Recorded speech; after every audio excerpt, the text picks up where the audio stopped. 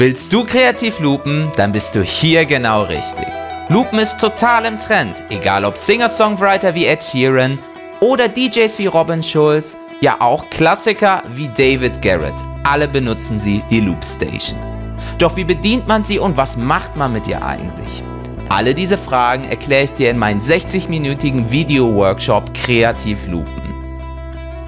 Neben den Grundlagen und nützlichen Tipps zeige ich dir vier Songs, womit du deinen Loop richtig geil klingen lassen kannst. Zu der DVD ist separat ein Notenheft erhältlich.